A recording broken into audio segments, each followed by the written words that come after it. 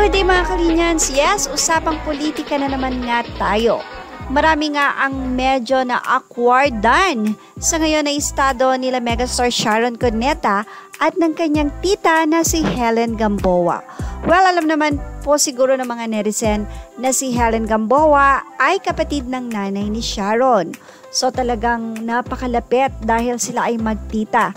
Kaya naman pati ang mga fans nila or mga netizen ay sobrang apektado ngayon.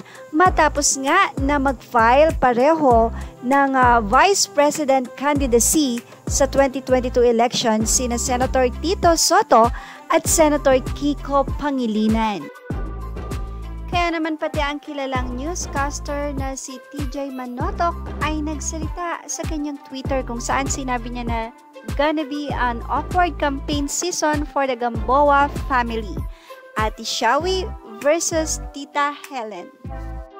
At narito naman ang naging reaksyon sa naging tweet na ito ni TJ Manotok.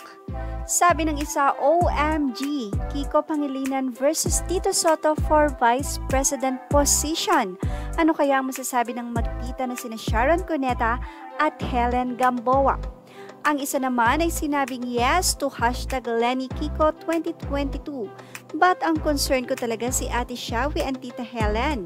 Mas but awkward, awkward for them. Ang isa naman ay sinabing Ate Shawi versus Ate Helen, ha ha ha, awkward. Si Jo Marie Gailan ay sinabing it gonna be Helen Gamboa versus Sharon Cuneta for VP. At ito namang isa ay sinabing Sharon Cuneta versus Helen Gamboa, the plot thickens.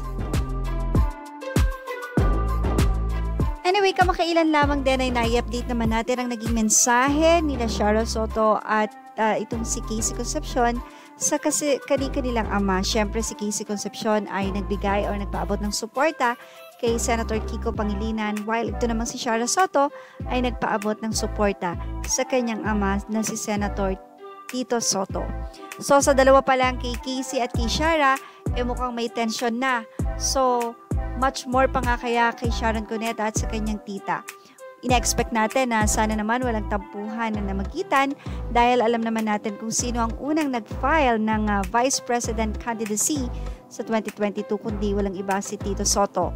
And then uh, sumunod na lang at uh, nagulat nga ang marami na ito palang si Kiko Pangilinan ay tatakbo rin bilang Vice Presidente.